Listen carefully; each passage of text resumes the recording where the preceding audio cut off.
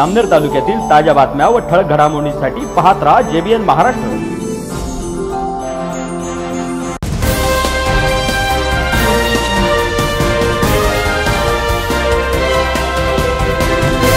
नमस्कार मी विनल चौधरी. पाहूया काही ठळक वृत्त. आद्य पत्रकार बाळशास्त्री जांभेकर यांच्या जयंतीच्या प्रित्यर्थ पत्रकार दिनी जलसंपदा मंत्री नामदार गिरीश महाजन यांच्या निवासस्थानी जामनेर शहरातील पत्रकार बांधवांचा नगराध्यक्षा साधनाताई महाजन यांच्या हस्ते भेटवस्तू देत सन्मान करण्यात आला. या प्रसंगी भाजपाचे ज्येष्ठ नेते ॲडव्होकेट शिवाजी नाना सोनार यांनी उपस्थित पत्रकार बांधवांना शुभेच्छा देत त्यांचे मनोगत व्यक्त केले. तर कार्यक्रमाचे प्रास्ताविक भाजपा तालुका अध्यक्ष चंद्रकांत बाविस्कर यांनी केले.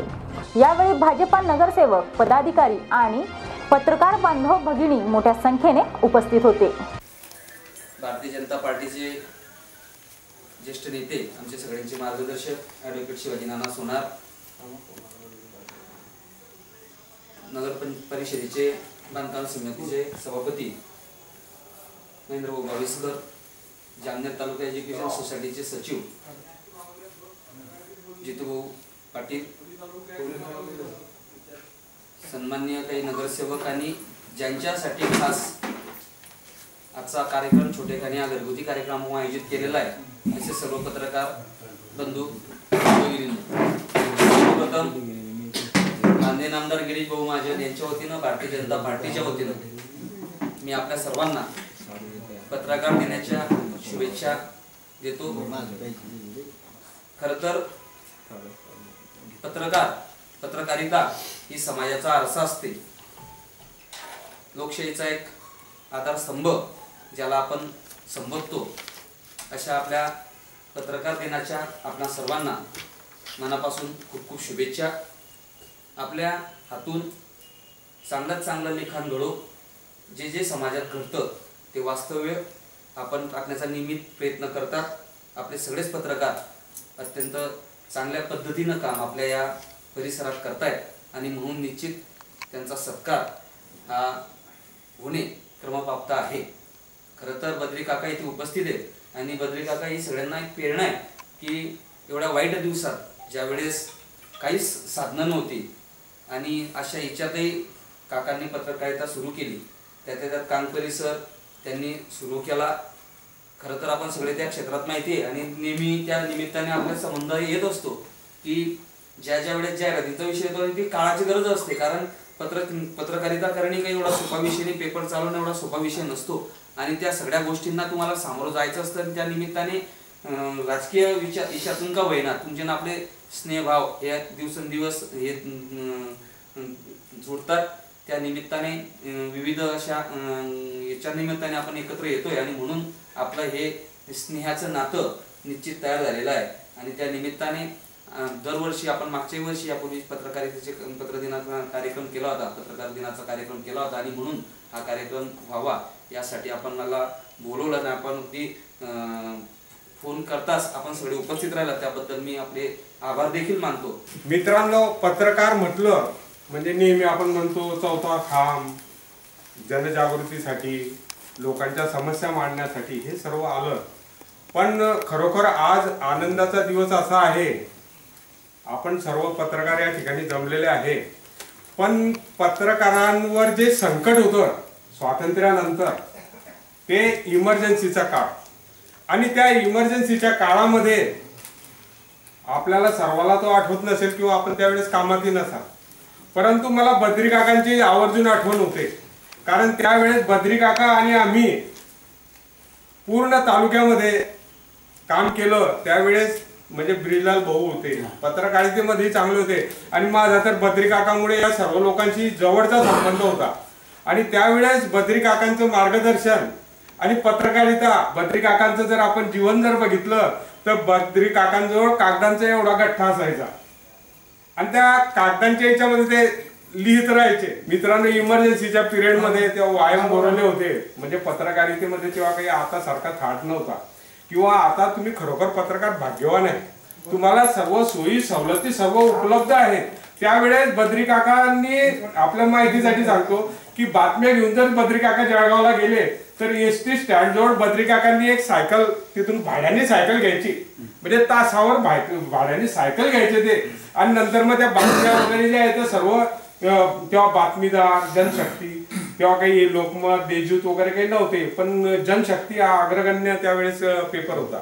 आणि ब्रिजलाल भाऊ स्वतः त्यामध्ये असल्यामुळे त्यांचं आणि एक समाजवादी विचारसरणीचं आता त्यावेळेस आमचं आणि त्यांचं जमत नव्हतं.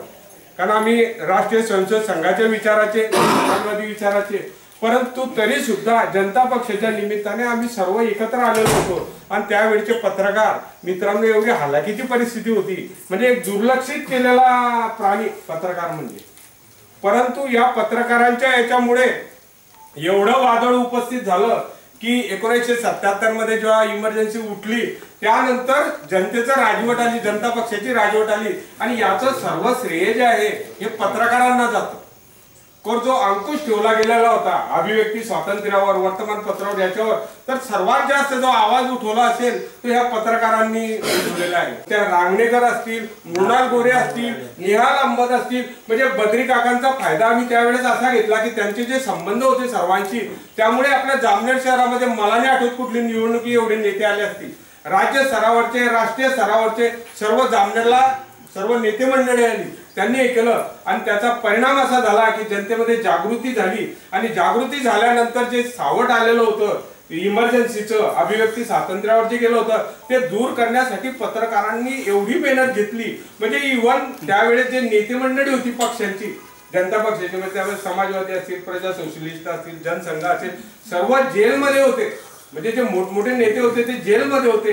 आणि ते जेलमध्ये असताना या पत्रकारांच्या उठावामुळे पत्रकारच्या अभि अभिव्यक्ती स्वातंत्र्य आल्या गदेमुळे या सर्वांना जनजागृती करण्याचं पत्रकारांनी काम केलं. मित्रांनो पत्रकाराचं असं काय कुठलीही गोष्ट असली त्याला एक डार्क साईड असते आणि एक ब्राईट साईड असते. म्हणजे चांगली बाजू असते आणि खराबी बाजू असते. चांगली बाजूच्या नव्याण्णव लोक चांगलं काम करत असतील पण एखाद्याने जर खराब काम केलं तर त्या एकामुळे सर्वांचं नाव खराब होतं. मित्रांनो अजूनही या लोकशाहीला जी आवश्यक आहे पत्रकारिता. तर त्या पत्रकारिता पत्रकारांनी यो- चांगलं देशाला योगदान दिलेलं आहे. निर्भीड विचार असेल. एखाद्या विचाराचे लोक असतील त्याला पटत असेल नसेल पण ते अभिव्यक्ती स्वातंत्र्य वर्तमानपत्रात त्या बाबतीमध्ये सतत बोलणं ते करणं आणि पत्रकार हा कुणाची पर्वा करणारा नसावा. हा माझा म्हणून याच्यावर टीका करायची जे जे चुकत असेल त्यावर टीका करायची. टीका करायची आणि कन्स्ट्रक्टिव्ह वर्क ज्याला म्हणतं. मग आता काही काही वेळेस कसं होतं की पत्रकारितेमध्ये बी काही लोक एवढ्या थराला जातात. तसं डिस्ट्रक्टिव्ह जे आहे ते काम नको. कन्स्ट्रक्टिव्ह आपल्याला समाजाला उभं करायचं आहे समाजाच्या ज्या मागण्या असतील त्या मांडायच्या आहे समाजाचा आक्रोश आपल्याला व्यक्त करायचा आहे हे काम पत्रकार आजपर्यंत करत आलेले आहे. आणि हे देशाकरताही स्वाभिमानाची मानाची गोष्ट आहे की या देशामध्ये पत्रकार हे जागृत आहे आणि या पत्रकारमुळे म्हणजे एखाद्या गोष्टीवर लक्ष ठेवण्याचं काम. कारण का असं किती बी बुद्धिमान माणूस असला किती चांगला की राज्यकर्ता असला तरी त्याचा तो त्याच्या त्याच्या अँगलने विचार करतो. पण त्याची लॅकुनच आहे त्याची जी कमतरता आहे ही पत्रकारितेमधनं पत्रकार लोक त्याला दाखवून देतात. आणि म्हणून एक अविभाज्य अंग जीवनाचं पत्रकारिता आहे.